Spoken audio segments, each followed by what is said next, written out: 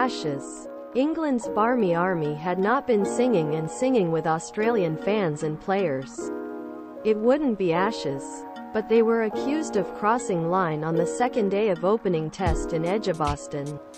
The day was emphasized by an emotionally loaded century of Australian operator Use Khawaja. But epic moment was broken when convicted subogeon Rolf Harris referred to hymns ringing on ground. The spectators at the Eric Hollies booth, known for his noisy atmosphere similar to MCG's Bay 13, could be heard that Rolf Harris, one of you accompanied by a popular football song throughout the day. In 2014, Harris found guilty of sexual harassment to the girl who was not invisible and sentenced to more than five years of imprisonment. A fans.